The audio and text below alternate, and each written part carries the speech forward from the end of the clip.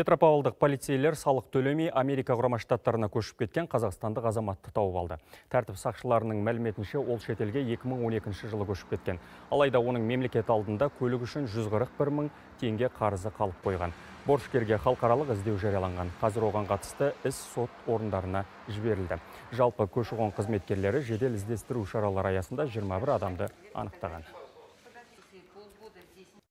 Оның ішінде 4 алимент төлемеуші, 11 борышкер және де 6 адамнан астап туыстық байланыстардан жоғалғандар. Осылай Қызылжа ауданының полиция бөліміне 20 жылдан астам уақыт көрмеген шешесін тауып беру туралы өтінішімен Қазақстанның азаматы жүгінген. Көші-қон қызметі қызметкерлермен іздестіру іс-шаралары ұйымдастырылды. Сонымен қатар барлық облыстарды бағыт-бағдар жолданды. Нәтижесінде іздеген адам көршілес Қостанай облыс аумағында табылды.